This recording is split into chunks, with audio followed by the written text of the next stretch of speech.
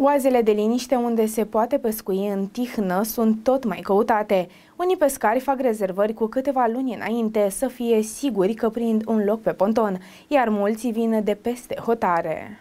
Oamenii de afaceri au început să amenajeze pe lângă iazurile pline cu pește, bazine de înot sau terenuri de tenis. Desigur, sunt și locuri de cazare. O zi de pescuit pornește de la 50 de lei, iar dacă vreți să vă petreceți noaptea într-o căsuță pe malul lacului, vă costă în jur de 175 de lei. În inima Transilvaniei, lângă Alba Iulia, o familie a amenajat în mijlocul naturii un complex de lacuri cu 16 pontoane pentru pescuitul sportiv. Bălțile sunt pline cu crav, som și chiar sturion. Pescarii vin să se relaxeze și mulți rămân peste noapte. Zona este înconjurată de păduri de pin și de salcâm, așa că cei care vin la pescuit se pot bucura din plin de natură. La 33 de kilometri de Alba Iulia, o familie a investit sute de mii de euro în amenajarea lacurilor, unde acum vin pescari din toată Europa. Liniștea este întreruptă doar de broscuțe sau de lebedele care își fac apariția din stufăriși. Numărul turiștilor a crescut cu aproximativ 70-80% în ultimii ani după pandemie. Germania, Anglia, chiar și din Franța m-au sunat în ultimul timp. Pentru o perioadă de 3 luni până în septembrie, locurile sunt ilimitate, ne spune Ana Maria Morcan, manager.